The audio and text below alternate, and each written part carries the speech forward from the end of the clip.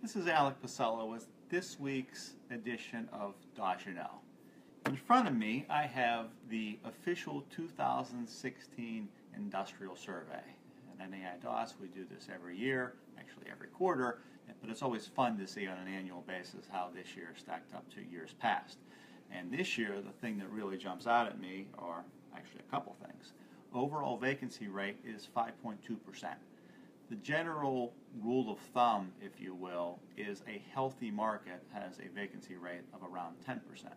So we're just under half of, or just over half of a healthy market. So clearly our industrial market is surging.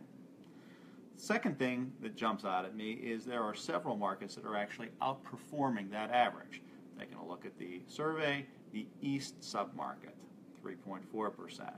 Uh, the Southeast, which is our dominant industrial submarket down through Solon, Twinsburg, Streetsboro, 4.24%.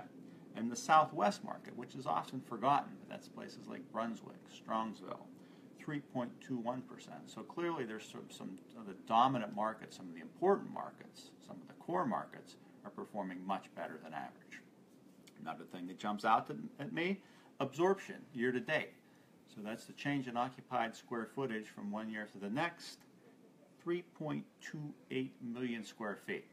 That's a very healthy number. Certainly bodes well for our region and speaks to the strength again of our industrial market. Point out one more thing, construction. Well, we say that one of the signs of a good, solid, strong market is good construction numbers. 1.53 million square feet of industrial construction underway as of the end of 2016.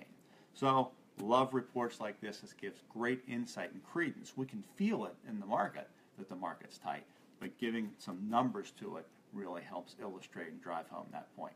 So, that is this week's Daus You Know. Hope you have a great weekend and a profitable week ahead. Thanks.